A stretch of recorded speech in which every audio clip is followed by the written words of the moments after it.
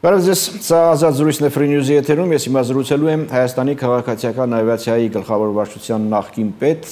93-ից 96 թվականներին պետ Շահեն Պետրոսյանի հետ, բարև ձեզ, պարոն Պետրոսյան։ Բարև ձեզ։ Բնականաբար մեր զրույցի առիթն ու պատճառը նախորդային տարածված տեղեկությունն է այն մասին, որ Հայաստանը բացել է իր օթային սահմանը Ադրբեջանի համար, որ Ադրբեջանն արդեն օգտվում է Հայաստանի սահմանից, որ սա օթային միջանցքն էր, որ տրամադրվեց հերթը ցամաքային սահմանին է եւ այս այլն եւ այսպես շարունակ տարածվեց այս տեղեկությունը մտահոգություններ, քննադատություններ եւ այլն եւ այլն։ Դուք ինչ մեկնաբանություններ ունեք սրա հետ կապված։ Ճիշտ ասած, ինձ համար մի քիչ զարմանալի է ցանկացած իրադարձություն Հայաստանում կապում են 44-օրյա պատերազմի հետ կամ ընդհանրապես հայ-թուրքական, հայ-ադրբեջանական հարաբերությունների հետ։ Օթային սահմանը Հայաստանը երբևէ փակ չի եղել։ Երբևէ փակ չի։ Երբևէ փակ չի եղել օթային սահմանը սովետական միությունից հետո նկատի ունեմ, այսինքն անկախ Հայաստանի ժամանակ երբևէ փակ չի եղել օթային տարածքը Հայաստանի եղել է հակառակը, ասենք, դե Թուրքա Թուրքիանը սահմանափակումներ մտցրել, այսինքն փակել էր օթային իր օթային տարածքը Հայաստանի համար։ Թուրքիային կանդրադառնանք։ Հիմա ավելի ակտուալ է կարծես Ադրբեջանի, որ Ադրբեջանի ինքնաթիռը անցել է Հայաստանի օթային սահմանով եւ այլն, բայց ասում եք Հայաստանի սահմանը երբեք փակ չի եղել, մասնագիտական շրջանակներից ես աչքովս ընկել է տեղեկություն այն մասին, որ դեռ 2000-ական թվականներին Ադրբեջանը միակողմանիորեն փակել է իր օթային սահմանը Հայաստանի համար եւ գրեթե դրանից հետո էլ Հայաստանն է փակել եւ եթե ինչ որ փոփոխություն է լինում իրավական փաստաթուղթ պետք է ստորագրի, դա պետք է հրապարակվի եւ այլն։ Այս տարածված մասնագիտական շրջանակներից տարածված տեղեկության հետ կապված ինչ կասեք։ Ադրբեջանը փակել է միայն Լեռնային Ղարաբաղի օթային տարածքը, նա պատերազմական բանի պատերազմական իրավիճակի պատճառով։ Ընդամենը դա իր սուվերեն իրավունքներ դա ԻԿԱՕ-ին նա հայտնել է, որ այնտեղ ռազմական իրադարձություններ տեղի ունենում, դրա համար ինքը փակել է իր օթային այդ մասի օթային տարածքը եւ ոչ մի օթանավ այդ տարածքով չէր կարող Այսինքն նենց մարշրուտ էլ չկար, տենց օթային մարշրուտ էլ չկար Ղարաբաղի, Լեռնային Ղարաբաղի տարածքի վրա։ Դե չկար, բայց Երևան Ստեփանակերտ Երևան Ստեփանակերտ, հա, օթանավականը կառուցվեց, այն ժամանակ նախագահ Սերժ Սարգսյանը հայտարարեց, որ ինքը առաջին ուղևորն է լինելու, բայց այդ թռիչքը այդպես էլ չեղավ եւ Դա շատ ծիծաղել էր դա, մենք բոլորը սպասում ենք երբ հանդարտռնելու։ Հա, եւ այս արկածախնդրություն էր ընդհանրապես այդ Ստեփանակերտը տես շքեղ օթանավ իբր թե շքեղ, իրականում դա փող լվանալու տեղեր, ես չեմ ուզում իմ նախկին գոլեգային ինչ որ բանով ինչ որ բան ասել, բայց նա կարողացավ այնտեղ իր լուման ներդնել Ստեփանակերտի օթանավականը վերակառուցելու առումով։ Դրա կարիքը չկար, որովհետև թույլ չէր տրվելու միևնույնն է թրիշներ իրականացնել, փակ տարածք էր դա թրիշների համար։ Ուրիշ բան ուղաթիռները կամ փոքր օթանավերը փոքր բարձրության վրա, ցածր բարձրության վրա կարող են թրիշներ իրականացնել դեպի Ստեփանակերտ։ Դա այլ բան է, բայց մեծ օթանավերը չեն կարող ավելի բարձր էշելոններում, որովհետև դա իրանք անցնում են Ադրբեջանի օթային տարածքը։ Եվ Ադրբեջանը թույլ չէր տալի, այդ մասով թույլ չէր տալի։ Իսկ ընդհանրապես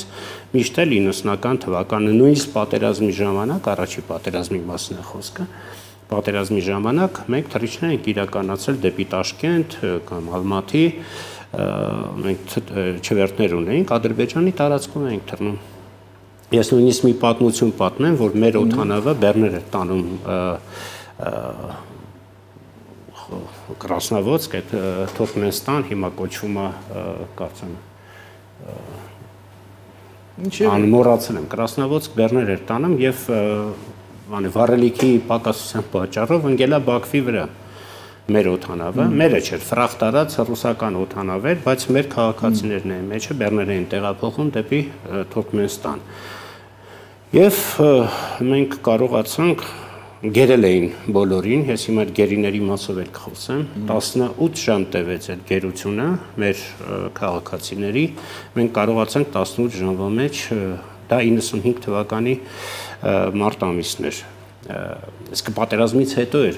ճիշտ ասած, բայց ամենապես հետո էլ 94 օթանավը ընկել էր 200 մետր բարձրությունից, դա ինքը բանը ռազմական օթանավ էր, ան 24 ռազմական տիպի, նա կարողանում է պլանի պլանիրված անել էլի եւ տենց ջարդուխուրդ եղել էին, բայց ոչ ոք չէր վնասվել, չէր մահացել։ Մի խոսքով ադրբեջանցիք ձերբակալել էին մեր քաղաքացիներին 8 հոգի, որոնք բեռների, այսպես ասած, բան եւ օթանավը հայկական կոդով էր թռնում։ Նույնիսկ այդ պայմաններում, այդ ինչքան էլ որ թշնամություն կար ժողովուրդների միջև կամ պետությունների միջև մենք կարողացանք այդ հարցը լուծել նույնիսկ Լևոն Տեր-Պետրոսյանն Լոնդոնից զանգել Ալիևին, ասել է, եթե մի բան պատահի մեր այդ տղաներին, գիտեք, ինչով է դա ավարտվելու։ Եվ անմիջապես Կարմիր խաչի օտանավը թռավ եւ հետ բերեց այդ մեր տղաներին, ութոքի։ Ճիշտ է, սկզբից կտանքներ էին ենթարկվել, հա, բայց հետո զանգերից հետո ես եմ զանգել իմ գոլեգային Ադրբեջան Հրանտ Բագրատյանն ա զանգել վարչապետին, այսինքն այդ բանակցությունների ընթացքում մենք կարողացանք ընդհանրապես այդ գերությունը 10 քանի ժամ տևել։ Հիմա արձանագրենք մի բան, հստակ ֆիքսենք, որ Հայաստանի օթային տարածքը երբեք փակ չի եղել, որ հիմա էլ բացվի, եւ կարող ենք ասել, որ նույն տրամաբանությամբ փակ չի եղել նաեւ Ադրբեջանի օթային տարածքը։ Այո։ Բայց չի օգտագործվել, չէ՞։ Ինչ Հայաստանի կողմից օգտագործվել է 90-ական թվականներին։ Չէ, հիմա, հիմա այս ընթացքում Հիմա այդ իրանց այդ իրանց որոշելու խնդիրն է, ինչքանով է իրանց շահավետ այս մարշրուտով թռնել, թե այլ մարշրուտով թռնել։ Հիմա իրանք Չգիտեմ ինչի, երևի մտածում եմ, որ կարող է մենք հաշվի առնելով MH17-ի դեպքը Լուգանսկի Դոնբասի մալազական օթանավի այդ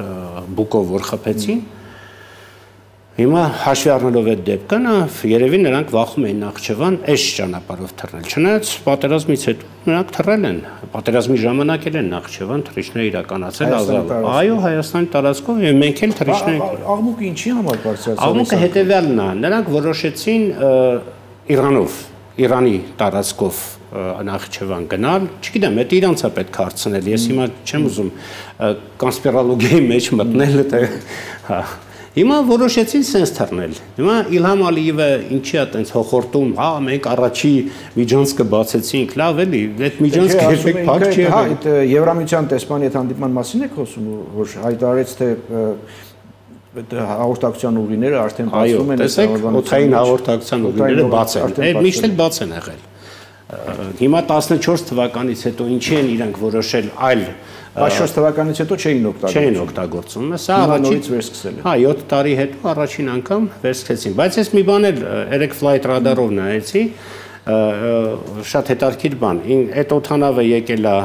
Նախճեվան Հայաստանի տարածքով եւ վերադարձել է Իրանի տարածքով։ Իրանի տարածքով։ Ասում են Իրանը փակել է։ Չէ, չէ, այսինքն Իրանի մասով ասում են փակել է ռազմական նշանակություն։ Հա, ըստ հաղորդագրությունների պաշտոնական, չգիտեմ, ես 10-ի հաղորդագրությունն եմ նայել, այնտեղ ասվում է, որ ռազմական օթանավերի համար է բան։ Հիմա դուք երևի մի հարց կտաք, իսկ քաղաքացիական օթանավերով հնարավոր չէ ռազմական։ Ես հենց պատրաստում եմ այդ հարցը տալ։ Հա, իհարկե հնարավոր է։ Ասես, հա, բայց չես կարող դա վերահսկել։ Ինչ որ դու պետքա ինչ որ ցանց ունենաս, որ կարողանաս տեղեկանալ դրա մասին, ասենք իրանք պատրաստում են զինվորներ կամ, նու, տեխնիկա չեն կարող տեղափոխել, ասենք թե ռումբեր բաներ չեն կարող տեղափոխել։ Բայց ռազմական նշանակության որոշակի բան հնարավոր է տեղափոխել։ Փամփուշտներ կարող են տեղափոխել։ Փամփուշտ կամ, չգիտեմ, թեթև զենք կամ զինվորներ կարող են տեղափոխել։ Հա, հարց չկա այդտեղ։ Եթե հիշում եք, պատերազմի ժամանակ իրանք Վրաստանի տարածքով Թուրքիայից զինվորներ էին տեղափոխում ճիշտ է բեռնատար օթանավերով, բայց կար նաև բան ուղևորատար օթանավերով էին տեղափոխում։ Նույն ֆոտոները կա ինտերնետում սելֆի արած զինվորները օթանավի մեջ, հա։ Հիմա նրանք օգտագործում են մեր օգտային տարածքը, նույն կերպ մենք կարող ենք օգտագործել կամ գուցե օգտագործում ենք օգտագործում ենք։ Այսինքն մենք չէ, այն ընկերությունները, ովքեր որ Երևան գալիս են, հա։ ասենք թե միջին արևելքից, ընդհանրեք Ղազախստանի թրիչները կամ ես երեք օրինակ նայեցի թուրքական ընկերությունները Հայաստանի տարածքով են թռնում դեպի Միջին Ասիա։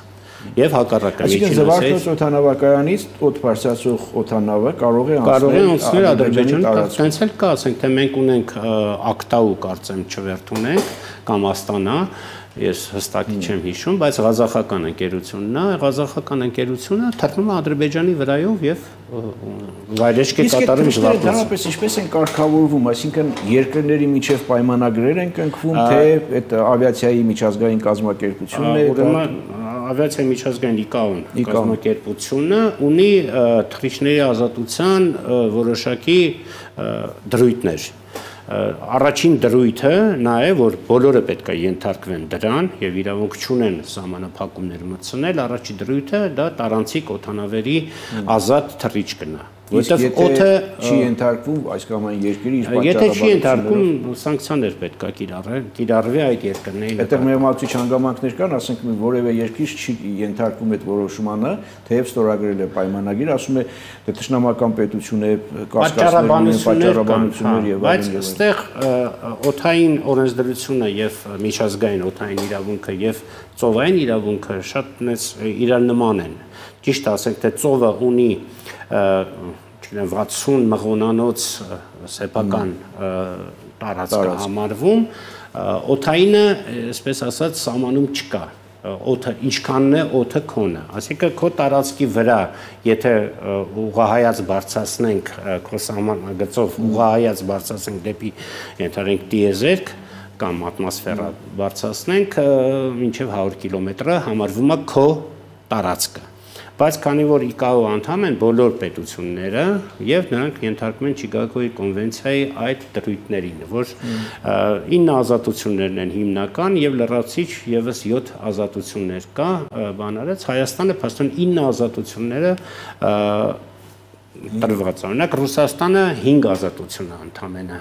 տալի։ Իսկ տարանցիկի վերաբերյալ բոլորը պարտավոր են եւ երկրորդը երկրորդ դրույթը կա այդ տարանցիկ օտանավերը հանգիստ կարող են ասնել այստեղ մի հատ խնդիր կա որ երեք քակի բանը կարդացի ես բարձաբանումը ասեց որ մենք թույլտվություն չենք տալի։ Այո, թույլտվություն չեք տալի, բայց տեղյակ պետք է լինեք, չէ, որ ինքը որոշել է այսպես թռնել։ Հա, այսինքն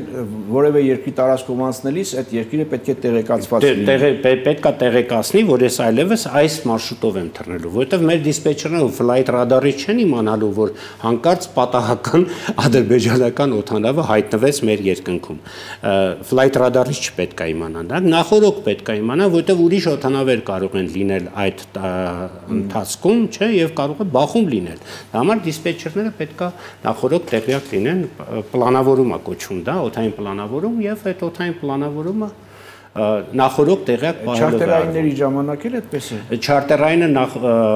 եթե չարտերը իրականացնում դու նախորոք հայտ ես ներկայացնում այդ երկրին ու կարող ես այդ չարտերը թույլ տալ կարող ես թույլ չտալ բայց կանոնավոր հա այդ արդեն երկրների կախված ինչ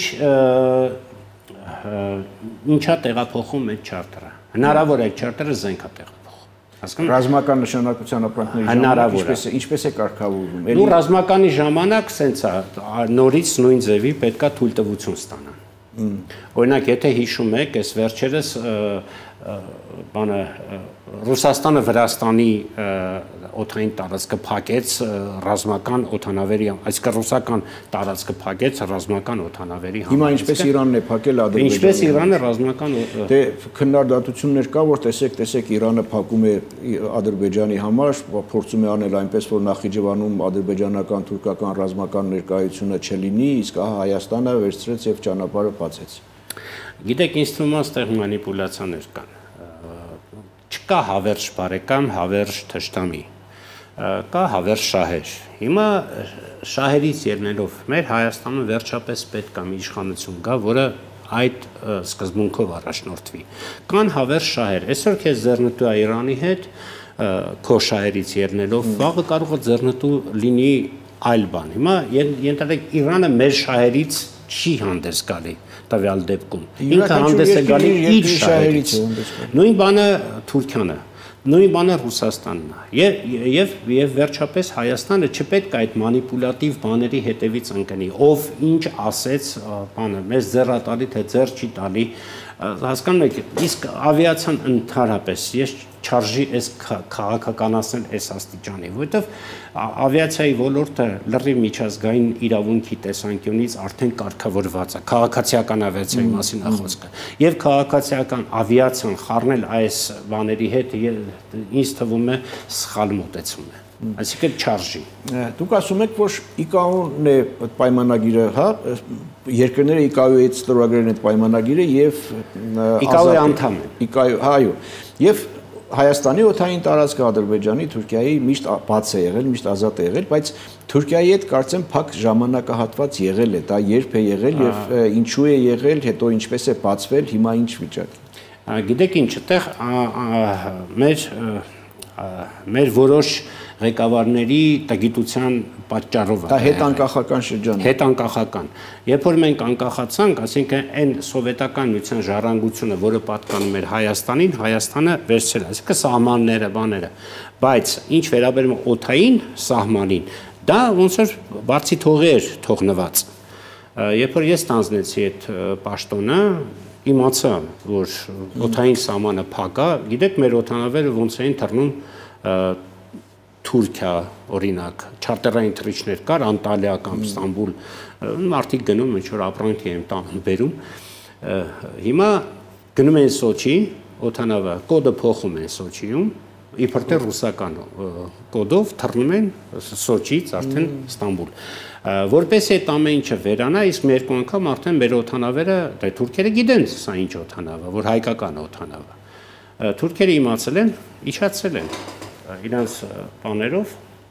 դիստրիբյուցիաներով իջացել են այդ օթանավը եւ խոզարկել են։ Դա 92, 93 հա, այսինքն Արցախյան պատերազմը 94, նույնիսկ պատերազմի ժամանակ էր։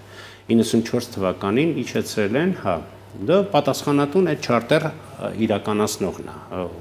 էկիպաժի իր մեղջունի այդտեղ պայմանագիր ես կնքում օթանավը այսինչ մարշրուտով պետքա գնա, էկիպաժը այդ մարշրուտով գնում է։ Հիմա մի կերպ մենք կարողացանք բանակցությունների բաներ միջոցով այդ օթանավի բանը մարդկանց ազատել տենց դեպքեր եղել է։ Հետո ես հետարքրվեց այդ հարցով արդեն միջազգային իրավունքի տեսակետից, իմացա, որ ուղղակի Հայաստանը ձեռնամուխ չի եղել այդ հարցը կարգավորել իմացա եւ դիմեցի արդեն իմ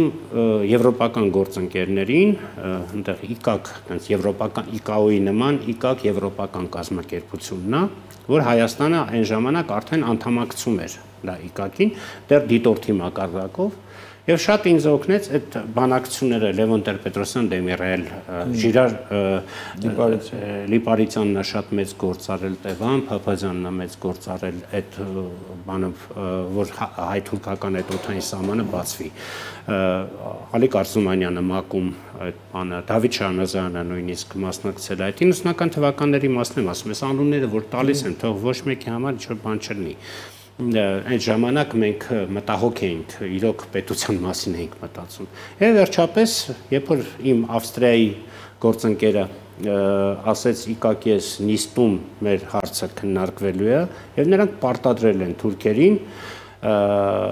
թուրքական ավիացիոն իշխանությանը պարտադրել են որ նրանք այդ բանը իրականացնեն բացեն սահմանը եւ շատ նու հանկարծակի չեկա իհարկե, ես տեղյակ էի, որ Թուրքիայի բանը զանգեց ինձ, Էֆենդի Պետրոսյան, դու parsa իրանց մոտեցում, հա։ Էֆենդի Պետրոսյան կարող եք թռնել Անկարա, մենք այդ բանը պատրաստ ամեն ինչ, ասի միգուցե դուք գաք մեզ մոտ, ասես չէ, չէ, մեզ մոտ ամեն ինչ պատրաստ արդեն, եկեք, հա։ Սենց, եւ վերջապես 95 Օթային սահմանը բացվեց։ Օթային սահմանը բացվեց եւ մենք հայկական ավիաուներով Ցամաքային այդպես էլ մնաց։ Ցամաքային, հա, ցամաքային այլ հարցեր, այդտեղ մենք այդ խոսակցությունն էլ ունեցանք ցամաքայինի վերաբերյալ, իրանք ասեցին, գիտեք ինչ, այս խոսակցությունը ավելի բարձր մակարդակի վրա է, գործնախարարության կամ պետության ղեկավարների մակարդակի վրա, բայց ներքին ինֆորմացիա ես ունեմ, որ եթե դուք բարիկանք դրսևորեք են գրավյալ տարածքներից մի քանի գյուղ հանձնեք, մենք ցամաքային էլ կբացենք, որովհետև մենք արդեն Ադրբեջանը այլ մեր ստեղն է։ Այդ ժամանակ այդ այդպես էր բանը նույն բանը եւ մենք արժանապատիվ այդ խաղաղության այդ պահը կամած կամած գործեցինք նու սկսած 97 թվականի այդ աժիոտաժի պատճառով այդ երկրապահ պահ պահ այդ ոչ մի թիզականությունը որ հաղթեց եւ 98 թվականին այդ ոչ մի թիզականությունը որ Ռոբն ու Սերժը հայտարարեցին 8000 քառակուսի կիլոմետրով մենք 4000-ով վերցել ենք Ղարաբաղը 8000-ով մենք կպահպանենք, թե պահպանենք, տենանք ոնց են պահպանելու։ Հետաքրքիր է նաև թե մեր ավիացիան ինչ վիճակում է հիմա։ Ինչ ունեինք, ասենք, անկախությունից հետո, հետո ինչ տեղի ունեցավ։ Ցավոք, ստեղ դրական բան միակ բան այն է, որ եթե Air Arabia այդ պայմանագիրը իրականանա, ազգային ավիափոխադրող, չէ, ես մինչև ազգային ավիափոխադրող հարցին անցնելը, ինչ ինչ ինչ ունեինք մենք, ժառանգություն ասում եք սովետական միությունից հետո մենք ունեցանք ժառանգություն, մեր սահմանները, մեր ամեն ինչը, հա։ ավիացիայի մասով ինչ ունեինք։ Մեր օթանավերը, նաև. Մեր օթանավերը այդ ժառանգություն էր սովետական միությունից մնացած, մենք ունենք մոտավորապես 30 օթանավ։ 30 հատ տարբեր յակ 40-ից մինչև կոկորոզիկների չեմ ունենք, այսինքն ավիաընկերություն, հա, ավիաընկերություն ուներ։ Այդ ժամանակ կոչվում էր Միացյալ ավիաջոկատ, տենց էր բանը, այդ քաղաքացիական գլխավոր վարչությունը որ կար, կոչվում էր Միացյալ ավիաջոկատ։ Եվ ամեն ինչը պատկանում էր իրեն։ Հետագայում այդ ռեֆորմը, որ 93 թվականին մենք իրականացեցինք, կառավարությունը այդ ռեֆորմը իրականացրեց, ինձ են նշանակեցին կառավարության լիազոր ներկայացիչ, որպեսզի ես իրականացնեմ այդ ռեֆորմը։ Ռեֆորմով տարանջատվեցին օթանավականները, ավիափոխադրողները, վառելիքը քսայյուղային նյութերը, բան առանձին ձեռնարկություններ դառան։ Ճիշտ է, դեռ պետական էին իրանք մնում, բայց իրանք արդեն իրար հետ հարաբերվում էին պայմանագրային բանով։ Եւ այդ մրցակցությունը պետքա հաստատվեր, եթե հիշում եք, տոմսեր էին վաճառում այն ժամանակ վերնիսաժներում, ասենք թղթի վրա գրում են եւ տոմս էին վաճառում։ Հիմա շատ լավ է, հիմա on-line դու կարող ես արդեն նորմալացել է այդ բանը։ Այն ժամանակ ոչ ինտերնետ կար, ոչ բան կար։ Ու նման ոչ Facebook կար։ Այդ ավիաընկերությունների, այդ օթանավերի այդ ինչ ինչ պատահեց։ Ուրեմն միջազգային բանով այդ աղմուկների եւ վառելիքի շատ օգտագործման, այսինքն էկոլոգիական խնդիրներ առաջացավ եւ սովետական արտադրության օթանավերը չէին համապատասխանում այդ միջազգային էկոլոգիական այդ բաներին։ Այսինքն վիբրացները ոնց հայերեն արտանետումներ արտանետումները շատ են ձայնը շատ է դե օթանավակայանի վրայով եթե դու վայրեջք ես կատարում անթրիչք ես իրականացում այնտեղ բնակելի տարածքներ էլ կան չէ դու բնակելի տարածքների վրայով ես գնում եւ այդ աղմուկը բանը որոշվեց որ մինչև 2000 թվականը այդ օթանավերը պետքա ուտիլիզացվեն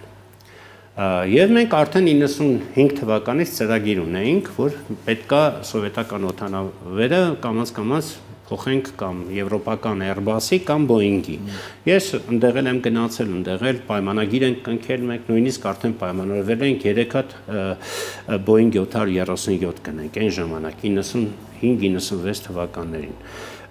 Երբ որ հարցը հասավ այն բանին, որ արդեն պետքա ես ծրկ բերեի դրանք, ես դուրս եկա ավիացիայից, դուրս եկա ավիացիայից եւ հետո 98 թվականից հետո այդ մենք ինչ որ ստեղծել էինք, այդ ագահությունը որոշ գավառացի այդ ղեկավարների մոտ այդ ագահությունը որ թաթը դրեց ավիացիայի վրա առաջերտին ինչը ցեզ մեղադրում են որ սեփական ավիաընկերություն ունեք բան դե թող մեղադրեն ուրա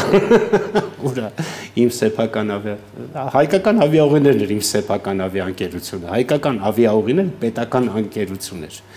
չէ արաքս արաքսը արաքսը դա իմը չէր Արաքսի հաշվով պատմեմ հեսա։ Ուրեմն Ռոբերտ Քոչյանը կանչում արդեն վարչապետ ժամանակ, կանչում ասում է այդ Արաքսը 50%-ը պետքա տաս ինձ։ Ես ասում հայ մարդ գնա նայի վարչապետ մարդը տեսումն է այդ արաքսը արաքսում կար մի քանի փայատերեր հա ես մասնակցել եմ այդ ստեղծմանը արաքսա ոչ միայն արաքսին մյուսը ավիանկերություն որովհետև մեր ծրագիրը հետևալ էր պետքա մրցակցություն լինի եւ ներքին եւ արտաքին վերջը ինչ եղավ այդ 50% վերջը ինքը ես ասացի այդ խելքով էլ դի վարչապետ աշխատես ու այդ օրվանից հետո մեր հարաբերությունները པարզ են չէ արդեն ինչ ինչ եղան հա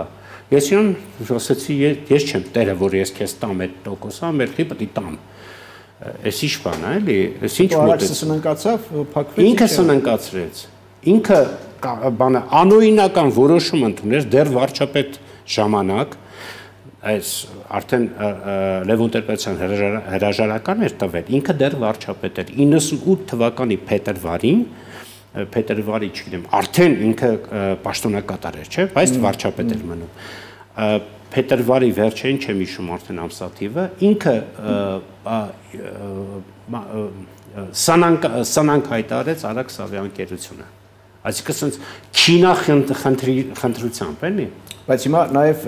կողմ է ազգային ավիափոխադրող ունենալու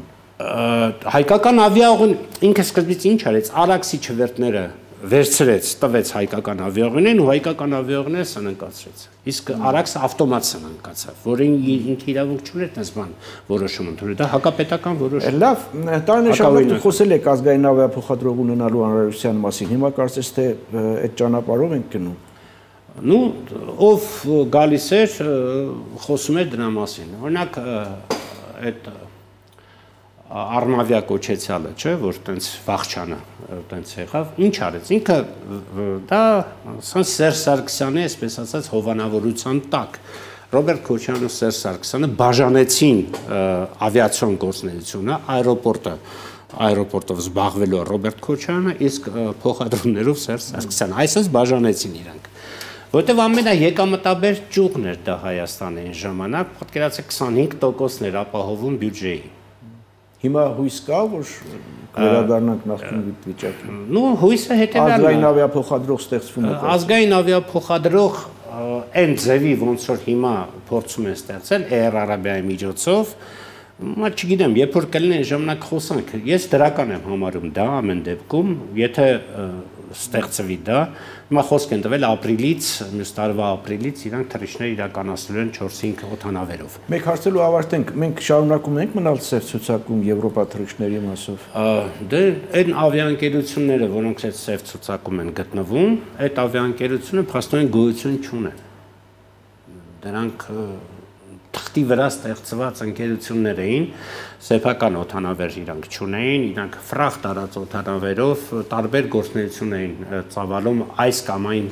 երկրներում, Հայաստանից դուրս հիմնականում։ Հայաստանում այդ Twin Avian-եր, որ 1-2 թռիչք Հայաստանի համար իրականացրել, այսինքն Սիրիայից մի քանի փախստականներին բերելու համար, բան։ Սենց իսկ այդ ընկերությունները